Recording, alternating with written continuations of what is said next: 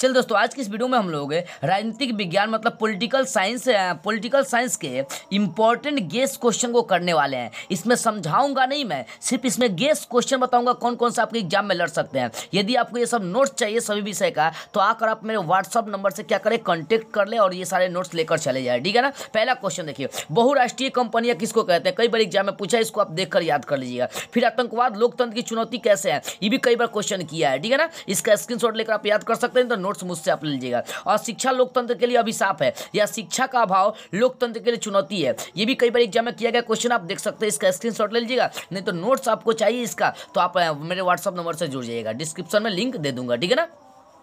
अगला क्वेश्चन आपको दिखा रहा हूँ। अगला क्वेश्चन है कि भारत में किस तरह, भारत में किस तरह की जातिगत असमानताएँ हैं स्पष्ट करना है। ये देखो 2020 2017 में किया गया क्वेश्चन बहुत इंपॉर्टेंट क्वेश्चन है। इसका भी स्क्रीनशॉट लेकर आप बढ़िया से क्या करिएगा, याद कर लीजिएगा।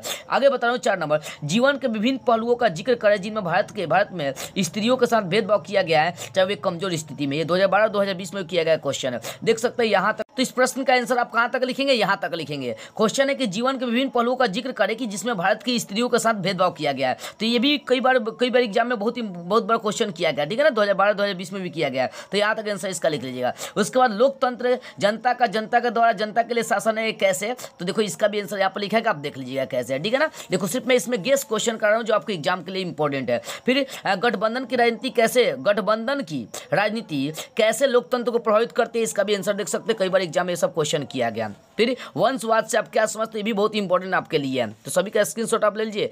स्क्रीनशॉट नहीं ले सकते हैं तो नोट्स आकर मुझसे व्हाट्सअप से क्या करिए कॉन्टेक्ट कर कर ले लीजिए, ठीक है ना? आगे, बंधुआ मजदूर किसे कहते हैं, ठीक है ना? इसका भी आंसर देख सकते हैं। परिवारवाद क्या कई बार ये भी क्वेश्चन किया गया। अगर लोकतंत्र जनता का, जनता के द्वारा, जनता के लिए शासन है किसने कहा था तो अब्राहम लिंकन ने कहा था। इसका भी स्क्रीनशॉट आप ले सकते हैं, ठीक है ना? सभी का स्क्रीनशॉट आप बढ़िया से ले सकते हैं।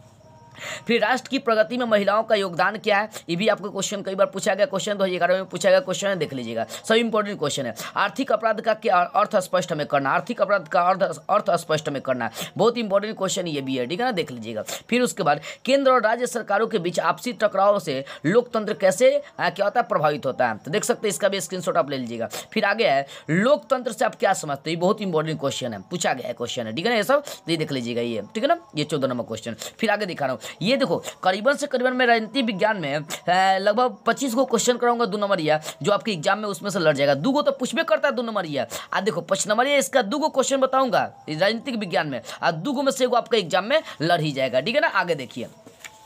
आगे दिखा रहा हूँ मैं। आगे बिहार में हुए छात्र आंदोलन के प्रमुख कारण क्या थे? इसका भी स्क्रीनशॉट आप ले लीजिएगा, बहुत इंपॉर्टेंट क्वेश्चन विपक्षी दल के कार्यों का संक्षिप्त परिचय देना है। चिपको आंदोलन के मुख्य उद्देश्य क्या थे? ठीक है ना। दबाव समूह से आप क्या समझते हैं? राजनीतिक दलों को प्रभावशाली कैसे बनाया जा सकता है? दो तरीका आपको बताना है। या उसके बाद, राजनीतिक दल दल लोकतंत्र में क्यों आवश्यक है? ठीक है ना, राजनीतिक दल को लोकतंत्र का प्राण क्यों कहते हैं? कई बार एग्ज़ाम में पूछा गया क्वेश्चन है। दल बदल कानून क्या है? चिपको आंदोलन के मुख्य उद्देश्य क्या थे? उसके बाद, सूचना का अधिकार आंदोलन का मुख्य उद्देश्य क्या थे? ये सब गेस्ट क्वेश्चन है। ये सब क्वेश्चन एकदम एग्ज़ाम में लड़ने के चांस बनते हैं। ये सभी का स्क्रीनशॉट लेकर आप बढ़िया से तैयार कर लीजिएगा, नहीं तो नोट्स ले लीजिएगा मुझसे व्हाट्सअप नंबर से कॉन्टेक्ट करके।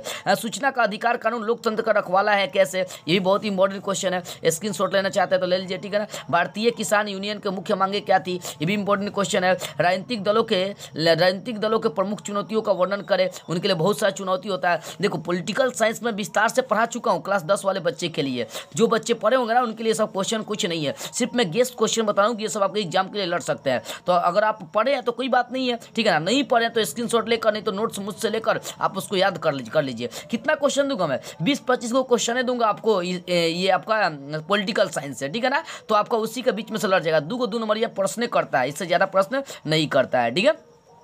आगे, राजनी- राजनीतिक दल किसे कहते हैं? कई बार ये भी क्वेश्चन किया गया। उसके बाद बोला कि वैश्वीकरण से आप क्या समझते हैं? बहुत इंपॉर्टेंट क्वेश्चन है। निजीकरण से आप क्या समझते हैं? भी बहुत इंपॉर्टेंट क्वेश्चन है। विश्व व्यापार संगठन क्या है? यह कब और क्यों स्थापित किया गया? ये भी बहुत इंपॉर्टेंट क्वेश्चन है। तो इस तरह से मैंने आपको कितना बता दिया। लगभग लगता है कि यही बीस बाईस को बताया करीबन दो नंबरिया प्रश्न। इन्हीं दो नंबरिया बीस बाईस को में आपका दो एग्ज़ाम में एकदम पक्का लड़ जाएगा, हमारा गारंटी है। तो इन सभी का नोट्स आप ले लीजिएगा, ठीक है ना? अब पच नंबरिया आपका क्वेश्चन आपको दिखा देता हूँ। अभी और भी कुछ क्वेश्चन दिखा रहा हूँ, दो नंबर ये है जैसे देखो, संघीय शासन की दो विशेषता बताना है। बहुत इंपॉर्टेंट क्वेश्चन ठीक है ना? स्क्रीन शॉट ले लीजिएगा। पंचायती राज से आप क्या समझते हैं? सत्ता की साझेदारी के अलग अलग तरीके क्या हो सकते हैं? उसके बाद ग्राम रक्षा दल से आप क्या समझते हैं? उसके बाद आप देख सकते हैं कि संघ राज्य का अर्थ हमें बताना है। स्क्रीन लेना चाहते हैं तो ले लीजिए, ठीक है ना? वार्ड सदस्य के, वार्ड पार्षद के क्या कार्य है? उसके बाद ग्राम पंचायतों के प्रमुख अंग कौन कौन है? उसके बाद लोकतंत्र में सत्ता की साझेदारी का क्या अर्थ है? ठीक है ना? ये सब बहुत इंपॉर्टेंट क्वेश्चन है। इन सभी का स्क्रीन आप ले लीजिएगा, ठीक है? नहीं तो नोट्स मुझसे व्हाट्सअप नंबर से एड कर ले लीजिए लैंगिक असमानता क्या है? ठीक है ना? भाषा नीति क्या है? भाषा नीति क्या है? उसके बाद भारत को गणतंत्र क्यों कहा जाता है? उसके बाद भारतीय संविधान अनुच्छेद उन्नीस के विषय में लिखे। तो उन्नीस में यही बताया गया कि हम मनुष्य क्या स्वतंत्र है किसी भी काम को करने के लिए। हम अपने अधिकार के लिए स्वतंत्र है, ठीक है ना? ये देख सकते हैं। उसको संघात्मक शासन में, शासन व्यवस्था में लिखित संविधान क्यों आवश्यक है? रंग भेद क्या है? सामाजिक विविधता राष्ट्र के लिए कब घाटक बन जाती है? या नारी नारी सशक्तिकरण से आपका क्या अभिप्राय है? देखो, ये सब जो ना दो इकोनॉमिक्स है सॉरी इकोनॉमिक्स नहीं पॉलिटिकल साइंस के इंपॉर्टेंट क्वेश्चन है। तो जिन जिन बच्चों को चाहिए, बस इतना। मेरे अनुमान से तीस को होगा, ज़्यादा नहीं होगा, तीस को दो नंबरिया क्वेश्चन है। इन तीसों का आप याद कर लीजिएगा, हो गया आपका छुट्टी इससे ज़्यादा क्वेश्चन में आपका लड़ भी नहीं करेगा। इन्हीं सब के बीच में से आपके एग्ज़ाम में लड़ने का पूरा चांस बनते हैं। तो ये था दो नंबरिया अब जैसे मैं पाँच नंबरिया दो क्वेश्चन बता रहा हूँ पॉलिटिकल साइंस का। देखो, थोड़ा सा इसको क्या करेगा हाई क्वालिटी में आप कर कर देखिएगा। ठीक है ना? क्लियर नहीं दिखाई दे रहे लेकिन फिर भी देखिए। राजनीतिक दल को लोकतंत्र का प्राण क्यों कहते हैं? ये कई बार एग्ज़ाम में पूछा गया क्वेश्चन है। कई बार, एको बार नहीं, बहुत बार पूछा गया क्वेश्चन है। राजनीतिक दल को लोकतंत्र का प्राण क्यों कहते हैं? पच नंबरिया में करेगा आपका क्वेश्चन तो इसका स्क्रीन आप लेना चाहते हैं तो स्क्रीन शॉट ले लीजिएगा यहाँ तक यहाँ तक, ठीक है ना? स्क्रीन शॉट शुरू में आपको दे रहा हूँ, नहीं तो नोट्स चाहिए तो नोट्स आप ले लीजिएगा, ठीक है ना? इसका स्क्रीन लेना चाहते हैं तो ले लीजिए, ठीक है ना? अब अगला क्वेश्चन दिखा रहा हूँ आपको। देखो, अगला क्वेश्चन अगला क्वेश्चन राजनीतिक दलों के प्रमुख कार्यों को लिखना। है बस यही क्वेश्चन ठीक है ना? ये आप ले सकते हैं इसका स्क्रीनशॉट ये पच्चीस नंबर या क्वेश्चन में करता है। स्क्रीनशॉट ले लीजिए, ठीक है ना? आगे दिखा रहा हूँ आपको। इसका भी आप स्क्रीनशॉट ले लीजिए। तो इस तरह से आपका जो है ना, ये पूरा पच्चीस नंबर या दुई आपका, दो में से एगो लड़ जाएगा पच्चीस नंबर है एगो पच्चीस नंबर पूछता है, राजनीतिक दल को लोकतंत्र का प्राण क्यों कहते हैं? और नहीं तो दूसरा क्वेश्चन राजनीतिक दलों के कार्य को हमें लिखना है, ठीक है ना? तो ये दो पच्चीस नंबर में से आपका एगो पच्चीस नंबर लड़ी जाएगा, ठीक है ना? तो जिन जिन बच्चों को नोट चाहिए, मेरे व्हाट्सअप नंबर से आकर ऐड हो जाए कॉन्टेक्ट कर ले। तो बस आज की इस वीडियो में इतना ही।